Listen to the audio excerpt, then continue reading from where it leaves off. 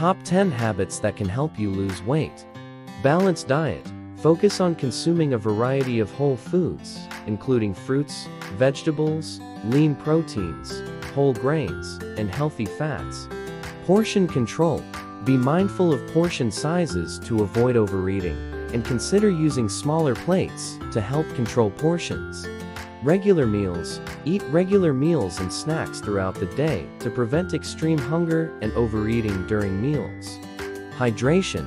Drink plenty of water throughout the day, as thirst can sometimes be confused with hunger. Mindful eating.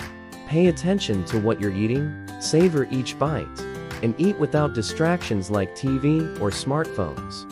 Regular exercise. Incorporate both cardiovascular and strength training exercises into your routine to boost metabolism and burn calories. Sleep well. Aim for 7-9 hours of quality sleep per night, as poor sleep can disrupt hormones related to hunger and appetite. Stress management. Find healthy ways to manage stress, as stress can lead to emotional eating. Techniques like meditation, yoga, or deep breathing can help. Keep a food diary.